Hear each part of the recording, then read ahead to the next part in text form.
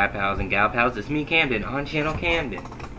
Before I review the show that you clicked on for me to review, first I'm gonna have a mini review. The Spectacular Spider-Man. Spectacular Spider-Man was a Spider-Man show that came out in 2008 through 2009. It aired on WB and the second season aired on Disney XD and um, the show was great. It's the best Spider-Man cartoon ever, and one of my favorite childhood shows. That you know that was really a part of my childhood as a Spidey fan. While the first Raimi movie was my first Spider-Man movie, also my first superhero movie in general, this was my first Spider-Man show. It was great because it showed Peter Parker's balancing his life between his normal high school life and his life as Spider-Man and it really done it well. Also, Josh Keaton voices Spider-Man, which is just the best voice for Spidey. But Yuri Lowenthal is still a good voice, and Christopher Daniel Barnes is still a good voice for Spidey, so they're also there. But Josh Keaton is number one. You know, it's the first thing I think about when I think about this show? That theme song.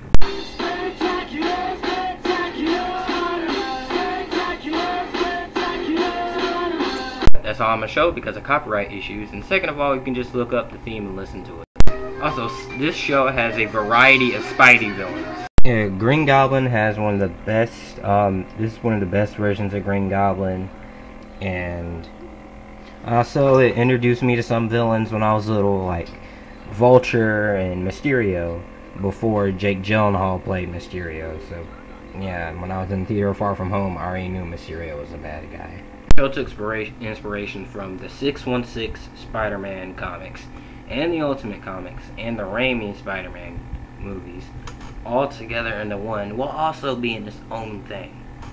Also, you can't forget one of my favorite Spider-Man villains, which is the best version of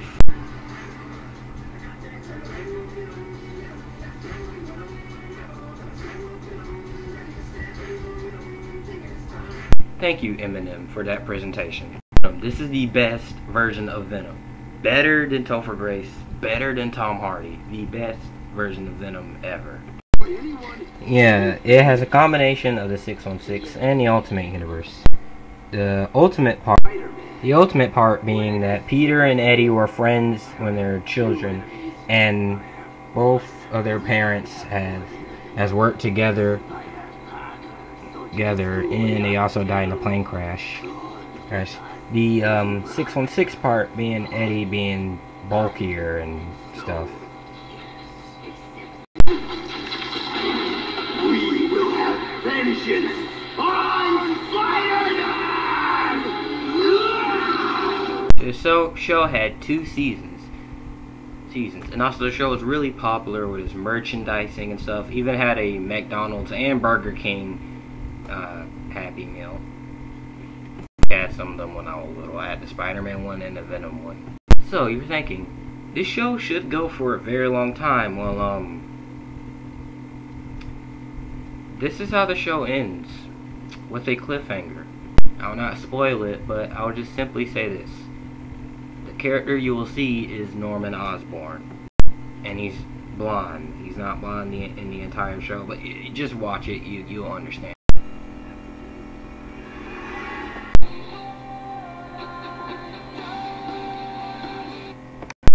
Yes, the show got canceled because um, there are some problems with two money-hungry corporations. You see, Disney bought Marvel, and Sony had the rights to Spider-Man, while Disney had the rights to all the other Marvel characters. And they had to make a deal to somehow keep the show going.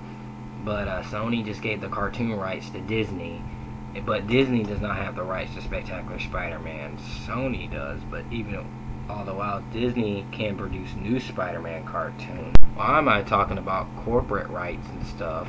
So they canceled the show. Who's there to blame? I don't know, just corporation stuff. Even though Sony is evil, especially Avi Arad is at Sony. But uh, this one, yeah. Hopefully they can bring the show back someday on Disney Plus. They can hopefully make a deal or something. I mean, they're making a deal now with Spider-Man being in the MCU. The, the show was supposed to have more villains like Hobgoblin, Carnage, Hydro-Man, Scorpion. Also, there was supposed to be a movie, a straight to DVD movie where Spider-Man's, uh, what Spider-Man's doing during springtime. Also, I read on Wikipedia Ghost Rider was supposed to show up in one episode. The show got canceled. So, what does Disney do to create a new Spider-Man cartoon? A new show called Ultimate Spider-Man. Now, first, I can't tell you about Ultimate Spider-Man. I have to tell you about the Ultimates universe. Marvel was going bankrupt in the late 90s, so they had to attract younger readers so then they get their money up again. So they decided to make another universe called the Ultimate Universe, where the heroes are more realistic and more into the modern day world. And of course, they started out with Spider-Man. Comics really sold well, and I read them, and they're very good. The comics has some inspiration for the Raimi trilogy, and a little bit for the MCU, and also Spectacular Spider-Man, like I said earlier. With their Ultimate Universe, they made an Ultimate ver version of the Avengers, and they weren't called the Avengers; they were called the Ultimates. Yeah, the Ultimates, um, well, um, these versions of the Avengers are not likable at all. Yeah, Hulk is a cannibal. Captain America is a French-hating bigot. Ant-Man beats his own wife. Well, in this universe, um, Quicksilver and Scarlet Witch are sister, sister and brother, just like in the regular Marvel universe, but um, they're more than friends. Yes, because Ultimate Spider-Man uh, Brian Michael Bendis was working on those comics. Meanwhile, the Ultimates, Mark Millar was working on them, and Mark Millar likes to make his comics realistic and deal with political issues. And yeah. Also, Jeph Loeb took over, and Jeph Loeb made it even worse. The Ultimate Universe is very weird. Weird, but that's not the main Marvel Universe. And the Ultimate Universe is dead now because they retconned it in the comics back to the 616 universe, so we don't have to worry about it. So if they base a comic off, I mean a show off the Ultimate Spider-Man comics, you should say they should adapt it, right? The show is about Spider-Man joining S.H.I.E.L.D. and teaming up with numerous superheroes. Also, he has a motorcycle. And similarities with the Ultimate comics, they have the hairstyle similar to the Ultimate comics. Goblin is a monstrous and bulky monster like he is in the comics. The title... Yeah. That's it. Everything else is either from the 616 universe or just made up of their own. Now, um, Spidey teams up with numerous superheroes such as um, we have Nova, Iron Fist, White Tiger, and Power Man. They're the main four that Spider-Man always teams up with. That's his own team. And they train under S.H.I.E.L.D. because for him to learn Nick Fury has to teach Spider-Man for to teach responsibility to him, even though he has already learned it from Uncle Ben's death. Spider-Man has a bike. That's totally not to sell toys at all, because, I mean, Spider-Man doesn't... It's not like he doesn't need a bike or anything. Totally not to sell toys. The first thing that comes to people's minds with Ultimate Spider-Man is this Spider-Man doesn't stop talking. He constantly breaks the fourth wall.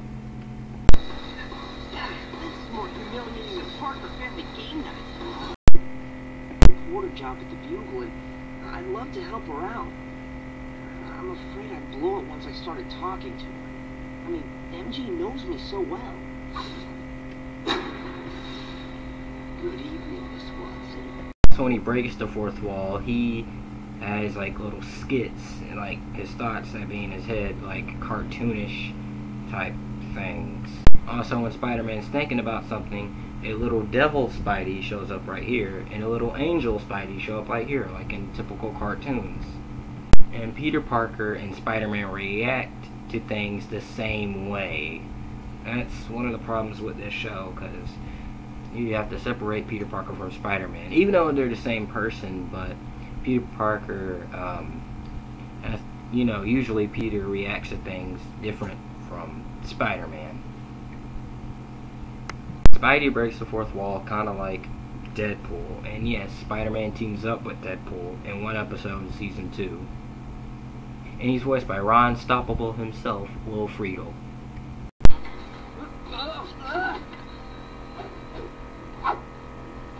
Spider-Man 3 leaked footage. Oh yeah, the voice acting. Also, Steve, Stan Lee, the man himself, voiced a janitor that's at school, and it makes me smile every time I see him. Also, they got J.K. Simmons himself to voice J. Jonah Jameson. I never meant. Hear you law-crawling menace? It is the duty of every New Yorker to report the actions of these masked miscreants. So listen up. I will rest until New York has seen the light. So Clark Cl- Gregg voice Phil Coulson in this show. And Greg Cipes, you know, Kevin Levin, Michelangelo, and Beast Boy, he voiced Iron Fist in this show. But you're asking, who voiced Spider-Man? Not the one you expect. Drake Bell.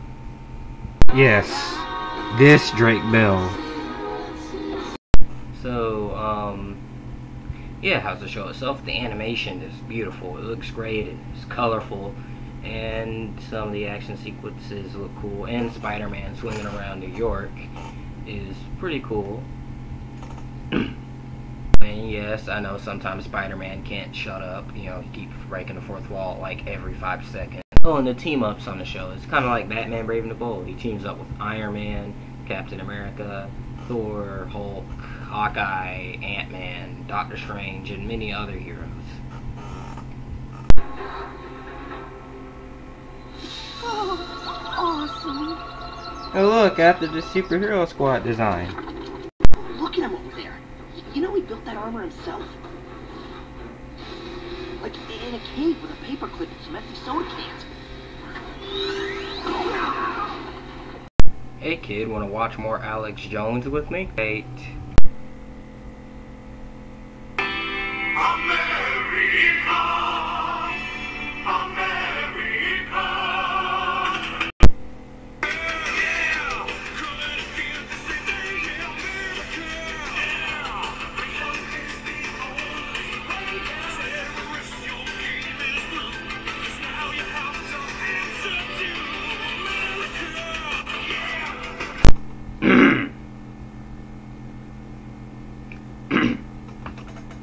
Testing, testing.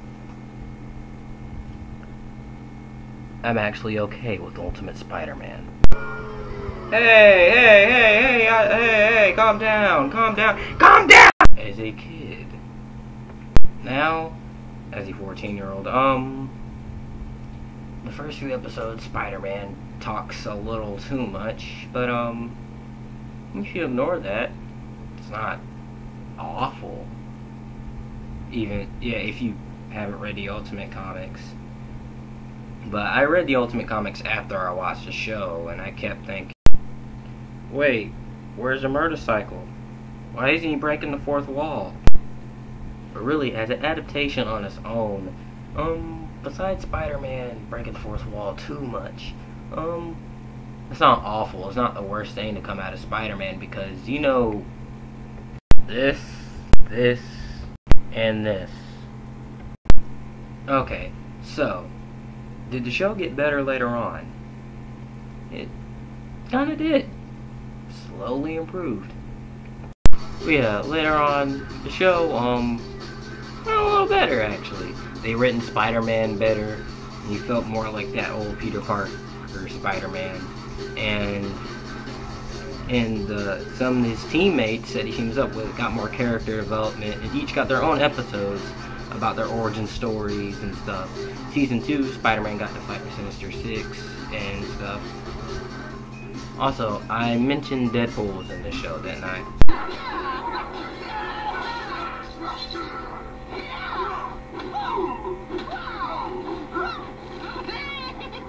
Double wedgie achievement unlocked.